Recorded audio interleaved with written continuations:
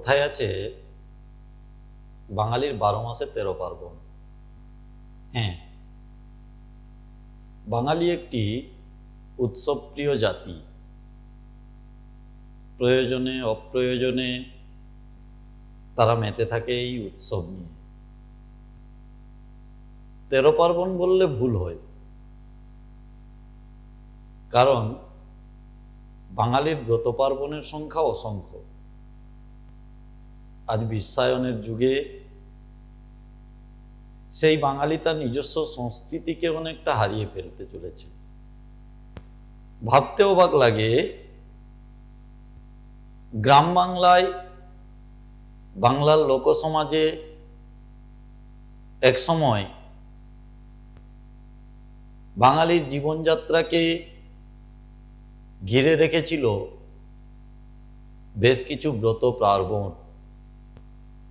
ওই যেমন বলে, পৃথিবীতে কিছু লুপ্তপ্রায় প্রাণী ছিল, যারা আজ পাথরের ভিতরে চিহ্নমাত্র হয়ে আছে, জীবাশ্ম হয়ে রয়েছে, কয়েকজন অনুসন্ধিৎসু গবেষক সেই জীবাশ্ম আবিষ্কার না করলে আমরা হয়তো জানতেই পারতাম না সেই সমস্ত অবলুপ্ত প্রজাতির কথা। ঠিক তেমনি বাঙালির নিজস্ব সংস্কৃতির জীবাশ্মটিকে আবিষ্কারের ক্ষেত্রে আমাদের প্রত্যাশার চেয়েও বড় ভূমিকা পালন করেছে জোড়াসাঁকর ঠাকুর বাড়ি বাঙালি আজকে নতুন করে লালনের গানকে যেভাবে খুঁজে পাওয়ার চেষ্টা করছে, আমাদের ভুলে গেলে চলবে না। সেই লালন ফকির কিন্তু রবীন্দ্রনাথেরই আবিষ্কার। আর সেই ঠাকুর পরিবারের অন্যতম উত্তরাধিকারী অবনীন্দ্রনাথও বাঙালি তথা ভারতীয় সংস্কৃতিকে পুনরুজ্জীবিত করার চেষ্টা করেছিলেন তার ছবিতে, তার লেখাতে। অবনীন্দ্রনাথের বাংলার রত গ্রন্থটিকে এক গবেষণাধর্মী গ্রন্থ বললে ভুল হয় না। তার কারণ, তিনি তার শিল্পী মন নিয়ে বাংলার রতগুলিকে যেভাবে পুঙ্খানুপুঙ্খভাবে সংগ্রহ করেছেন তার পর্যালোচনা করেছেন, তা প্রথাগত গবেষণার থেকে কোনো অংশেই ছোট কিছু নয়। আমরা এই পর্বে আলোচনা করব অবনীন্দ্রনাথ ঠাকুরের সেই বিশিষ্ট কীর্তি বাংলার ব্রত নিয়ে। বাংলার ব্রত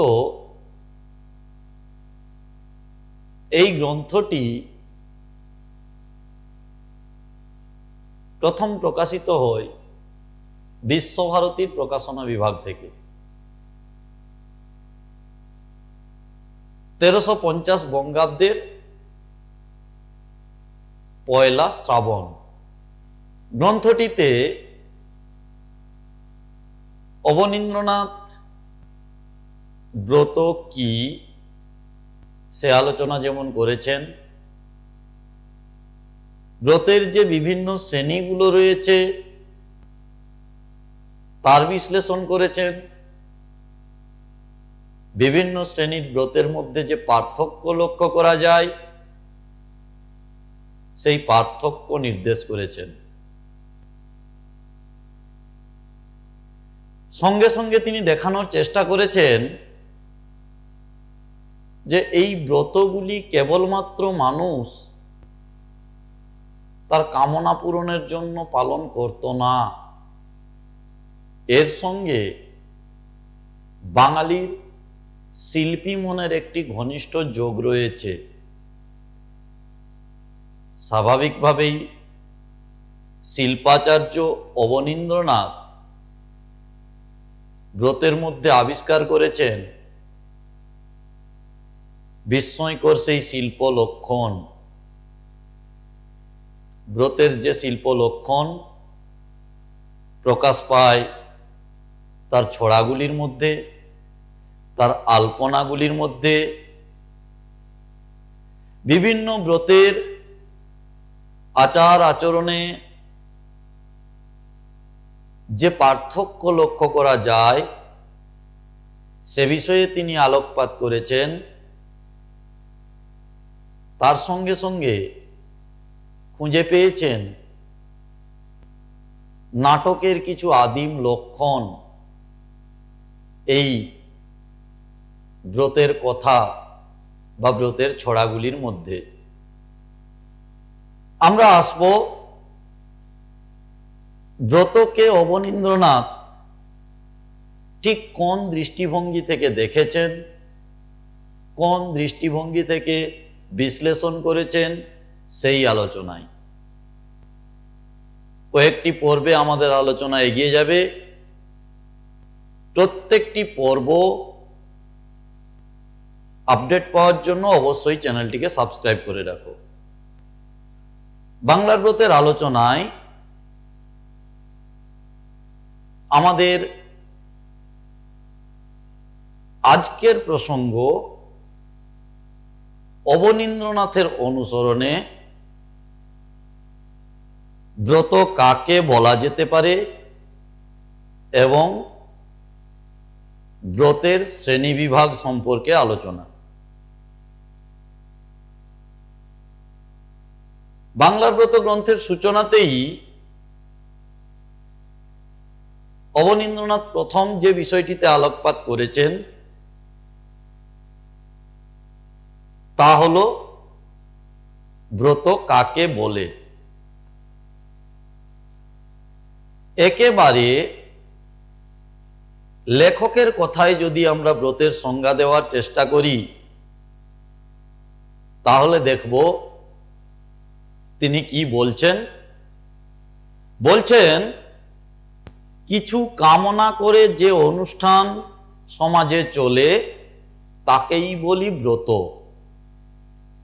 অর্থাৎ লেখকের মতে ব্রত হলো আসলে কামনা পূর্তির অনুষ্ঠান। লৌকিক সমাজে বিশেষত গ্রাম বাংলার লোকায়ত নারী মানুষের যে কামনা তারই প্রতিফলন ঘটেছে এইসব ব্রতগুলির মধ্যে। দৈনন্দিন জীবনে, স্বপ্নে, জাগরণে তারা মনে প্রাণে যা চায়, সেই কামনা পূরণের জন্যই তারা এই ব্রতগুলি করে থাকেন। কি চান তারা? তাদের কামনা এই ইহলোকের চাওয়া পাওয়ার মধ্যেই সীমাবদ্ধ। কোন দৈবী বা অলৌকিক ঐশ্বরিক কামনা তাদের মধ্যে নেই। তারা চাইছেন বলতে কখনো চাইছেন সম্ভ্রান্ত উচ্চ বংশে জন্ম হওয়ার আকাঙ্ক্ষা। কখনো স্বামী শ্বশুরের মঙ্গল বাসনা। কখনো দুর্বিষহ সতীন যন্ত্রণা থেকে মুক্তি। অর্থাৎ দৈনন্দিন জীবনে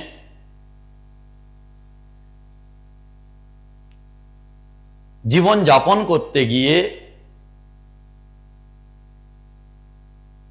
যে সমস্যা, সেই সমস্যা থেকে, মুক্তির আকাঙ্ক্ষা থেকেই তারা এই ব্রতগুলি করে থাকেন। তাহলে ব্রত হলো মূলত কামনা পূরণের অনুষ্ঠান। অতঃপর অবনীন্দ্রনাথ চলে এসেছেন ব্রতের শ্রেণি বিভাগে। লেখক বলছেন, আমাদের দেশে দু রকমের ব্রত চলিত রয়েছে দেখা যায়। তাহলে অবনীন্দ্রনাথের মতে নারীরা তাদের কামনা পূরণের অনুষ্ঠান হিসেবে যে সমস্ত ব্রতগুলি পালন করে থাকেন, তাকে প্রাথমিকভাবে দুটি শ্রেণীতে ভাগ করা যায়। কি কি?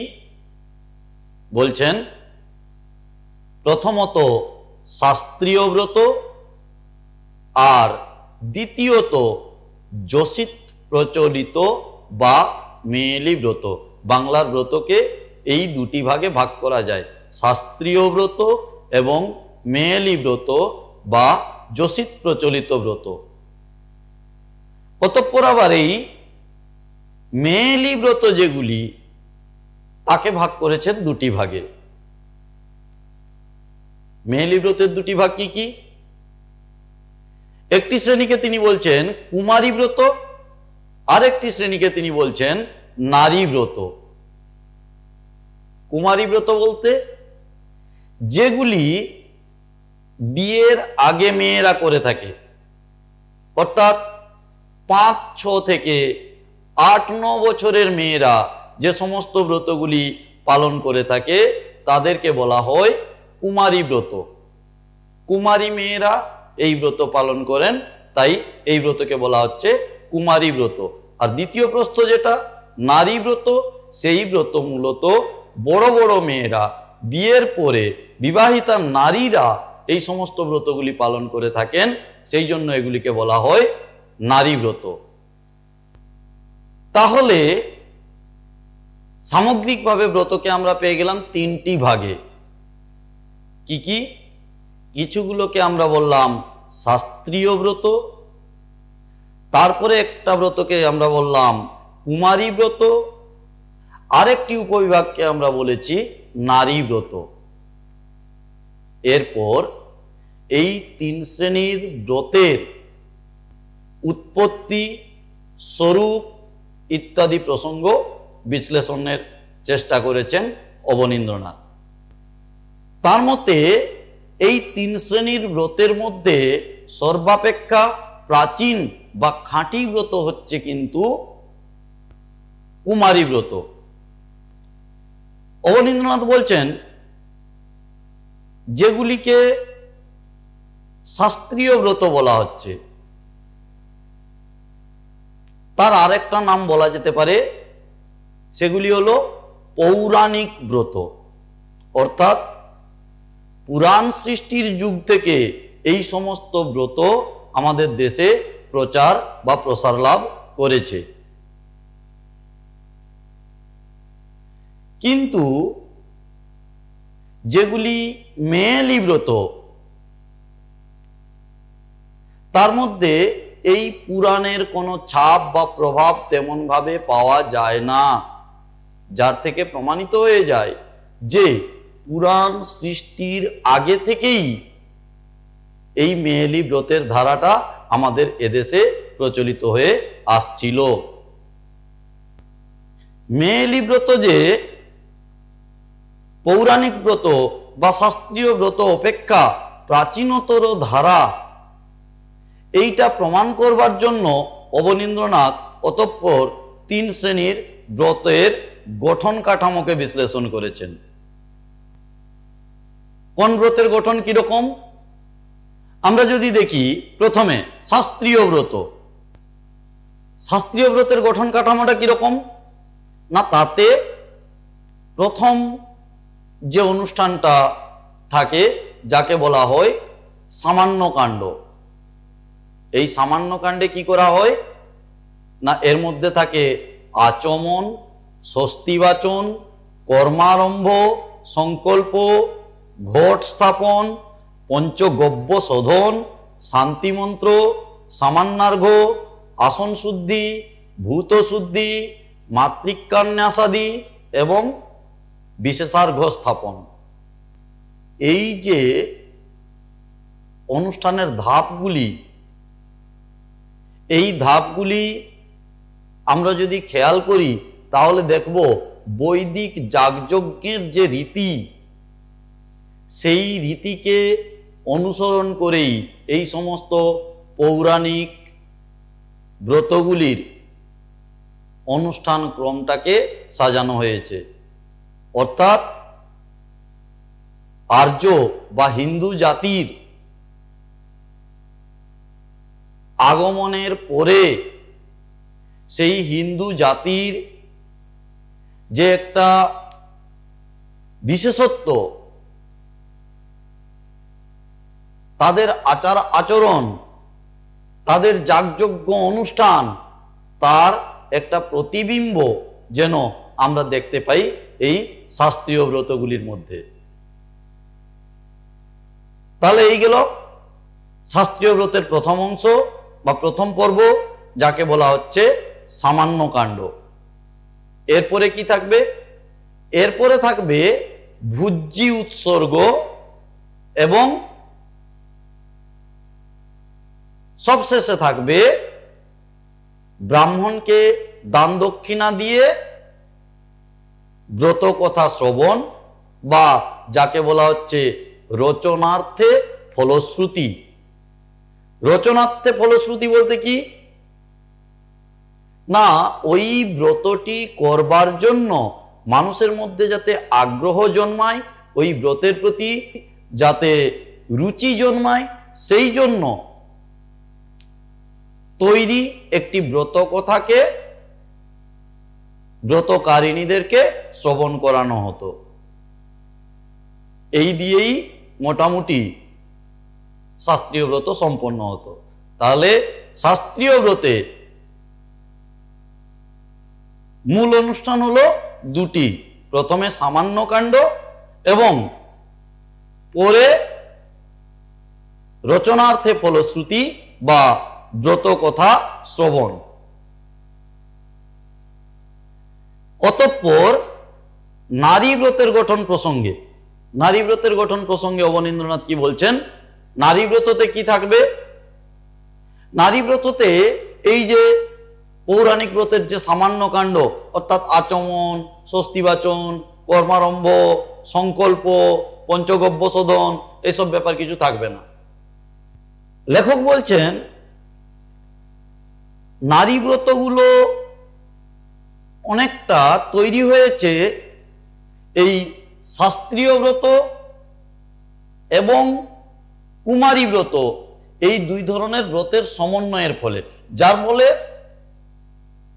আমরা নারী ব্রতের মধ্যে যেমন শাস্ত্রীয় ব্রতের কিছুটা প্রক্ষেপ দেখতে পাব। শাস্ত্রীয় ব্রতের মূল বিশেষত্ব হচ্ছে কি? শাস্ত্রীয় ব্রতের মূল বিশেষত্ব হচ্ছে এই পৌরাণিক জটিল কর্মকাণ্ড। সে তুলনায় কুমারী ব্রতগুলোর বড় বৈশিষ্ট্য কি? কুমারী ব্রতের বড় বৈশিষ্ট্য হচ্ছে তার সরলতা। নারী ব্রতগুলি হচ্ছে কিছুটা অংশ শাস্ত্রীয় ব্রতের মতো জটিল, আবার কিছু কিছু ক্ষেত্রে কুমারী ব্রতের মতো সরল। তাহলে এই নারী ব্রত সম্পর্কে বা এর গঠন সম্পর্কে জানতে যাওয়ার আগে আমাদের ভালো হয় যদি আমরা কুমারী ব্রতটাকে তার গঠনটাকে আগে আমরা দেখে নিই। যদিও অবনীন্দ্রনাথ শাস্ত্রীয় ব্রতের আলোচনার পরেই নারী ব্রতের প্রসঙ্গ এনেছেন। কিন্তু আমাদের ধারণা, আমরা যদি শাস্ত্রীয় ব্রত, যার ঠিক বিপরীতে আমরা পাচ্ছি কুমারী ব্রত কুমারী ব্রতের ধারণাটা যদি আমরা তৈরি করে নিতে পারি, তাহলে আমরা বুঝে নিতে পারব নারী ব্রতের উপরে কতখানি শাস্ত্রীয় ব্রতের ছাপ পড়েছে আর কতখানি কুমারী ব্রতের ছাপ পড়েছে। কুমারী ব্রত কাকে বলে সেটা আমরা আগে বললাম। কাকে বলব কুমারী ব্রত? না, যেগুলি পাঁচ, ছয় থেকে আট, ন বছরের মেয়েরা, অর্থাৎ অবিবাহিতা কুমারী মেয়েরা যে সমস্ত ব্রতগুলি পালন করে থাকে তাদেরকেই বলা হচ্ছে কুমারী ব্রত। অবনীন্দ্রনাথ বলছেন, এই ব্রতগুলি অনেকখানি খাঁটি অবস্থায় পাওয়া যায়। তাহলে তিন শ্রেণির ব্রতের মধ্যে খাঁটি ব্রত বলতে অবনীন্দ্রনাথ বুঝছেন কিন্তু এই কুমারী ব্রতগুলিকে। এর গঠন কীরকম? এর গঠনে রয়েছে দুটি পর্ব। কি কি? না, প্রথমে যেটাকে বলা হচ্ছে আহরণ। আহরণ বলতে ব্রত করতে গেলে যা যা উপাদান লাগবে। যে কোনো ব্রত এক একটি ব্রতের জন্য কিছু কিছু বিশিষ্ট বিশিষ্ট উপাদান লেগে থাকে। একটি ব্রত করতে গেলে যা যা উপাদান লাগবে, সেই উপাদানগুলিকে সংগ্রহ করা, জোগাড় করা। যেটাকে বলা হচ্ছে আহরণ। এটা গেল ব্রতের প্রাক প্রস্তুতি। এরপরে আসছি ব্রতের দ্বিতীয় পর্বে। দ্বিতীয় পর্বে যেটাকে বলা হচ্ছে আচরণ। আচরণ বলতে তাতে কি থাকবে? না, যে কামনাটা করে ব্রতিনী, সেই ব্রতটি পালন করছেন। বিভিন্ন ব্রতের বিভিন্ন রকমের কামনা থাকে। যে কামনাটা করে ব্রতিনী ব্রতটি করছেন, সেই কামনার কিছু প্রতিচ্ছবি ব্রততে ফুটিয়ে তুলতে হবে। কিসের দ্বারা? মূলত আলপনার দ্বারা। তাহলে ব্রতিনী যা কামনা করে ব্রতটি করবেন, তার আঁকা আলপনাতে তিনি সেই কামনার কিছু প্রতিচ্ছবি ফুটিয়ে তুলবেন। কুমারী ব্রতের এই আলপনা একটি আবশ্যিক উপাদান। আলপনা থাকতেই হবে। কারণ কামনার প্রতি চিত্র না থাকলে সেই ব্রতকে সম্পূর্ণ করা যাবে না। তাহলে আচরণে প্রথমে আমরা পাচ্ছি কামনার প্রতিচ্ছবি হিসেবে আলপনা দেওয়া, পুকুর কাটা এবং কামনা জানিয়ে, অর্থাৎ সেই কামনা যাতে তার পূরণ হয়, সেই কামনার কথাটা প্রকাশ করে, জ্ঞাপন করে, কিসের দ্বারা জ্ঞাপন করবেন? তার ছড়াতে। তিনি ছড়াতে তার কামনাটাকে ফুটিয়ে তুলবেন।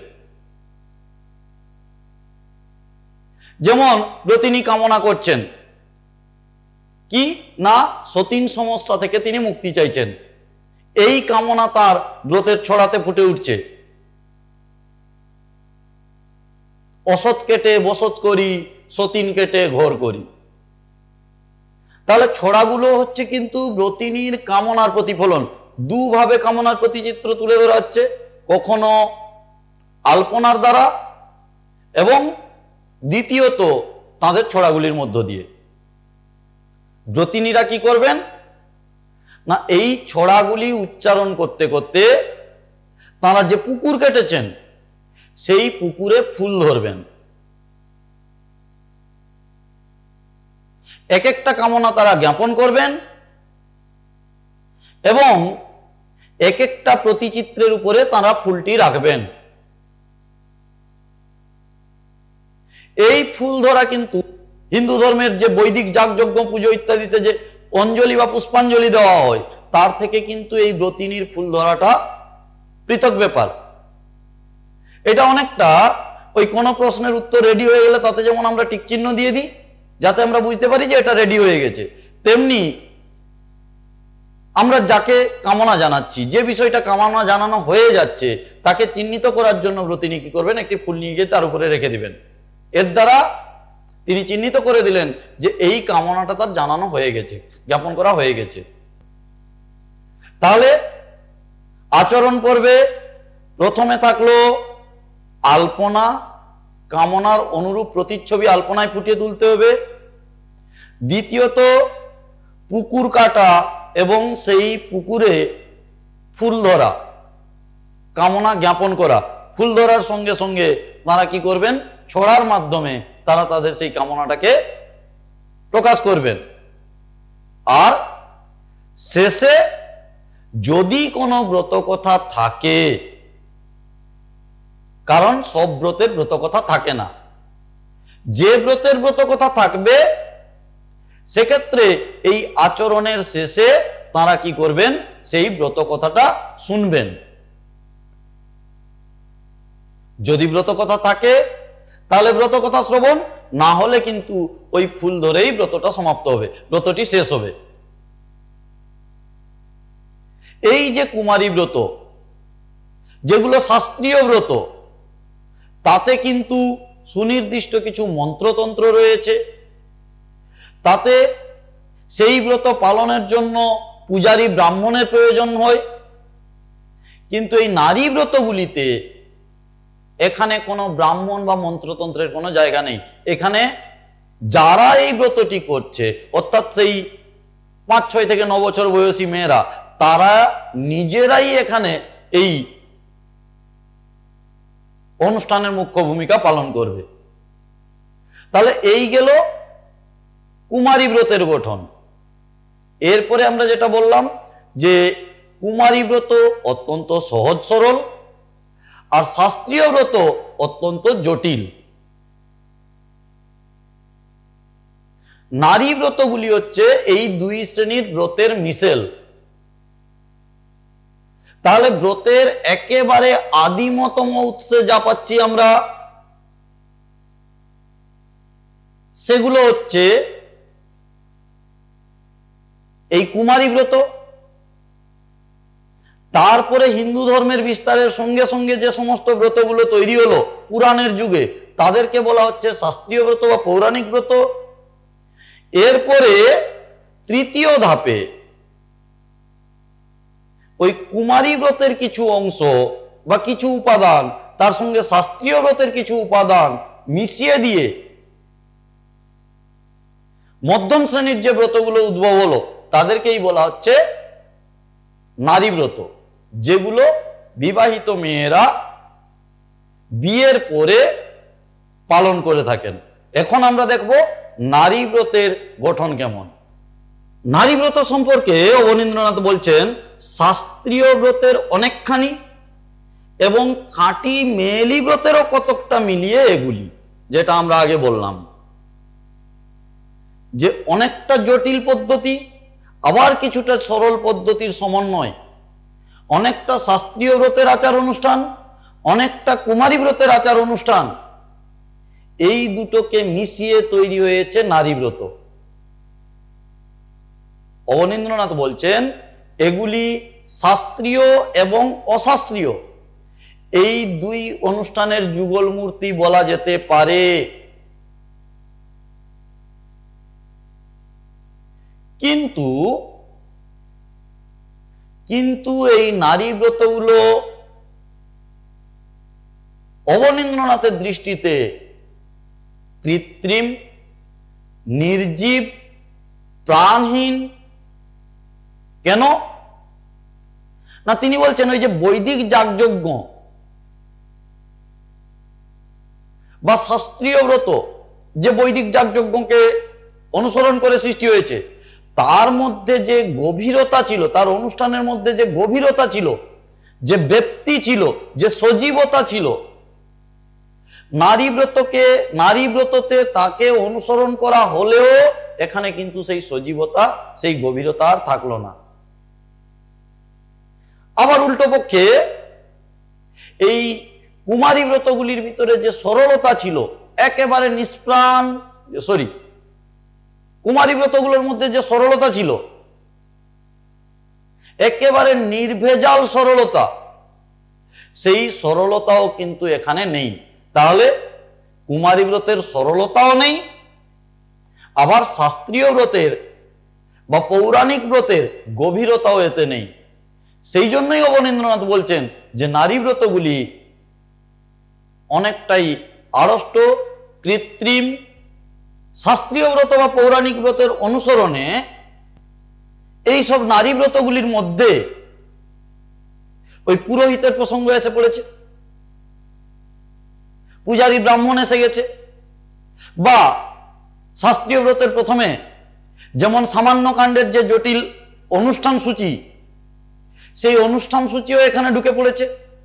শাস্ত্রীয় ব্রতের যে জটিল মন্ত্রতন্ত্র, সেই জটিল মন্ত্রতন্ত্র নারী নারী ব্রতের মধ্যে ঢুকে পড়েছে। তবে তাকে কিছুটা সরল করে নেওয়া হয়েছে। সরল করে নেওয়া হয়েছে, কিন্তু কুমারী কুমারী ব্রতের মতো এতটা সরল হয়ে উঠতে পারেনি। সেই জন্য নারী ব্রতগুলি হচ্ছে একটি মধ্যপন্থা, যার ভিতরে শাস্ত্রীয় ব্রতের মতো গভীরতা বা জটিলতা নেই, আবার কুমারী ব্রতের মতো সরলতাও নেই। এই গেল অবনীন্দ্রনাথের ব্রতের শ্রেণীবিভাগ। আমরা পরের আলোচনায় আসব। অবনীন্দ্রনাথ কি বলছেন? বাংলার ব্রতের উদ্ভবের কারণগুলি কি? ব্রত কেন উদ্ভব হলো?